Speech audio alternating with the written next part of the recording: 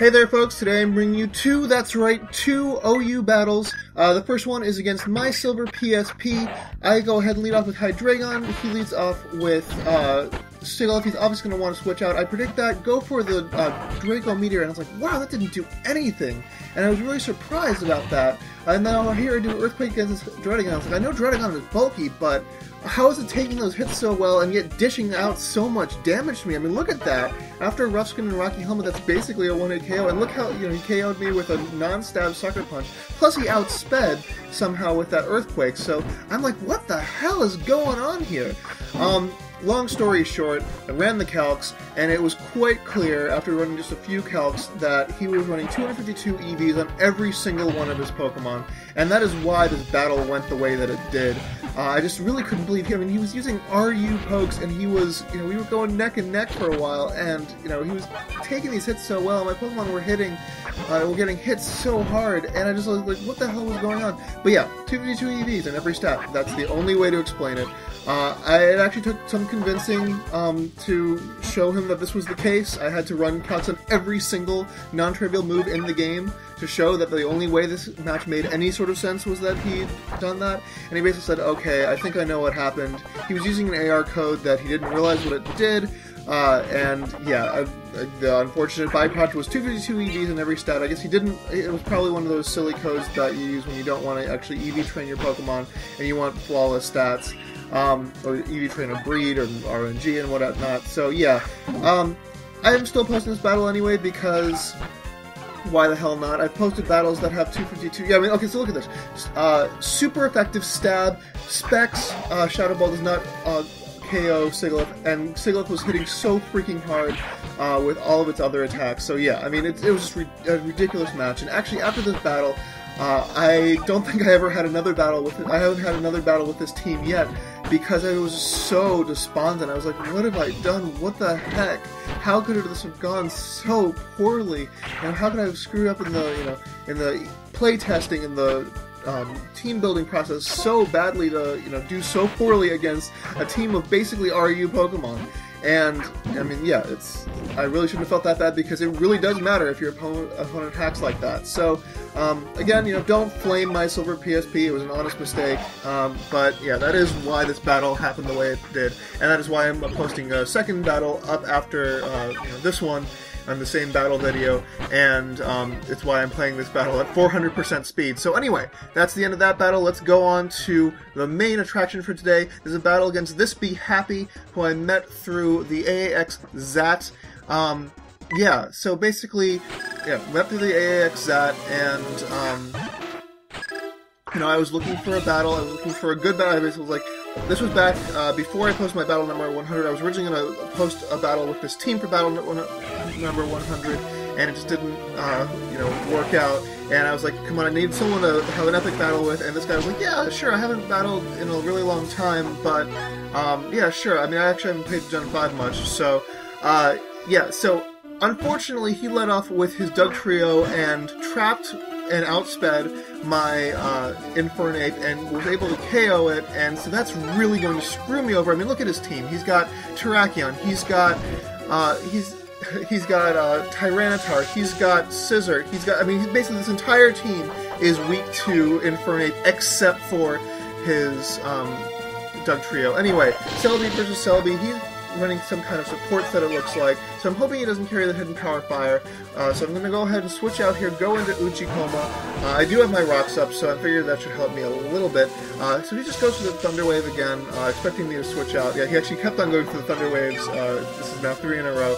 Uh, Uchikoma isn't going to mind being paralyzed, really. I mean, it's not going to mind being paralyzed like, say, my Crobat would mind being paralyzed. Anyway, either that's Hidden Power Ground, or he actually did carry the Hidden Power Fire. I was really surprised by that. Uh, actually, based on how this battle goes, I'm gonna guess that it was actually Hidden Power Ground after all. Anyway, I get the freeze hacks against the Celebi. I'm like, oh wow, you know, I never hope for freeze hacks, but in this case, I kind of needed it. Uh, I mean, I'm really not doing too well in this battle already, and it's it's really early in this battle. So uh, he has his scizor, his banded scizor, almost certainly go for the U-turn. Just a crap ton of damage. Out now is going to come the Celebi. I know it carries that hidden power, that super effective hidden power, so I'm going to want to switch out on this next turn. Really hoping that, well actually no, I'm not going to want to switch out because at that range of health I'm thinking, okay, I know I'm paralyzed, I know I'd probably die to a hidden power, but if I can KO with Bullet Punch then it'll be awesome. Unfortunately he survives on a sliver of HP. I don't think that was even like min damage or anything, I think that was just the way things go. So yeah, um, anyway, so... my poor, poor little Metagross paralyzed is getting parahacks more often than not, and yeah, it's just not a good situation for me. And his Celebi is up to full HP. Uh, he's going to go for the uh, Hidden Power again. It's super effective. It's luckily, you know, not doing that much. I'm taking a few of those hits. I get the Freeze Hacks again! What the hell is up with this crazy-ass game? This crazy RNG. Uh, I mean, this is just insane. Two Freeze Hacks in a row. Um, now he's going to just switch out into um, his. Yeah, I mean, this is just obvious. Um, anyway, here I make a huge mistake. Unfortunately, my uh, Stella Luna is a, it's a special set, but it does not carry the um, it does not carry the heat wave. I was really hope uh, at one point it carried heat wave, but I figured eh, I've got enough fire on this team. I don't need heat wave. Uh, had I carried Heat Wave, I could have just KO'd right off the bat. Instead, he's going to take me out with two bullet punches. I was hoping that, you know, after a Nasty Plot, I could take him out with Hidden Power Ground, but yeah, no. Um, that's not how this went. So now, finally, out is going to come to Tyranitar. Yeah, he did all that stuff with no sand up. Uh, so now I go for the surf. Now this was kind of interesting. He told me later he had no idea what this uh, Pokemon was. Uh, I was like, it's a Jellicent. And he's like, I've never seen one before. I'm like, oh, well. I mean, it's going to explain a lot of his moves. He does go for the Crunch. I guess he figured it was Ghost, or maybe I told him that it was Water Ghost. Um, but yeah, he goes for the Crunch. I figured that Celebi could take it anyway because Celebi is a physical um, you know, physical wall, and it's uh, EV trained to outspeed Jolly Max Speed Tyranitar. Um, so I go for the Seed Bomb, hoping to get the KO. Unfortunately, he predicts that goes into Scizor, and even though I've got Rocks up, I mean, Scizor's not going to really, I really mind those too much. I'm going to go for the Recover here, expecting him to go for, don't know, but nothing that would be good. Uh, he goes for the Pursuit, so I guess I'm glad that I didn't, I'm definitely glad I didn't switch out, but it's not like I can do anything else, so uh, Celebi is dead. Only thing I can do is go for the Heal Bell, get rid of Uchikoma's paralysis, and you know that way Celebi does something useful before it dies. Poor Celebi. Uh, you know, thanks for doing what you did this battle.